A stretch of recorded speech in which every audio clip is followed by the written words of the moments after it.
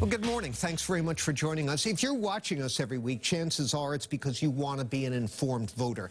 And informed voters know they need strong journalistic sources to help keep them informed, keep them up to speed, and hold the people who want to wield political power to account. So let's get an update on the state of local journalism with our guest, Northeastern University journalism professor Dan Kennedy, co-host with Ellen Clegg of the weekly podcast, What Works? The Future of local news. Find out where to download it at whatworks.news. Dan, welcome. Good to have you here. Thanks for having me, Jon. All right, appreciate it.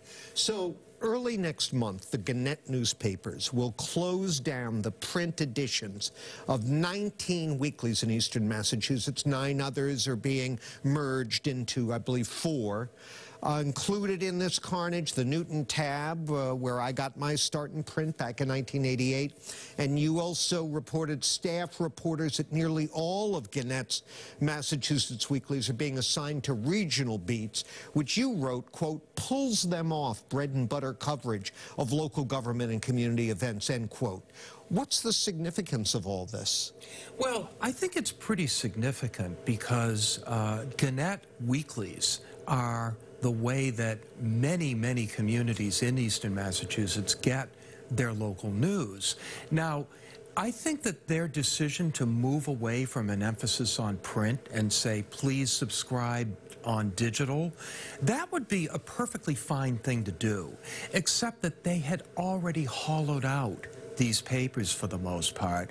So Already, these were pretty much what you would call ghost newspapers with very little local news in them. As you mentioned, uh, most of the local reporters are being assigned to regional beats. Uh, so actually, the end of print in a lot of these communities is really the least of it. So, uh, at the at the grassroots level, what does that mean to these communities? I guess no more uh, no more meeting coverage, no more localized political reporting? Well, what I will say is that after this happened, I started putting out the call for tell me about independent sources of local news in your community. And I was astonished at how much is actually out there. I knew about a lot of it, but there's more than I even thought. So I do think that local news is alive and well in Massachusetts. If people would like to look at what might be in their own community, uh, go back to our whatworks.news website and look in the upper right corner at Mass Indie News. You might be surprised at what you find, but you're not going to be getting it from Gannett. Well, you mentioned there are alternatives alternatives to uh, what these big chains are doing to local community journalism. And there's one that I'm familiar with, the Provincetown Independent, which is one of two newspapers serving that part of the Cape. Uh, just briefly, because we have to then take our break, tell me a little bit about uh, how their business model and why you think it's so promising. Uh, well, Ed Miller, the co-founder and editor of the Provincetown Independent, is our guest this week on the podcast. Okay. But they had this really interesting hybrid. It's a hybrid of print and digital. Uh, they still are able to attract local advertising, and it's a hybrid of for-profit and non-profit. It's a for-profit paper, but they have a non-profit arm that pays for certain types of accountability journalism in the community.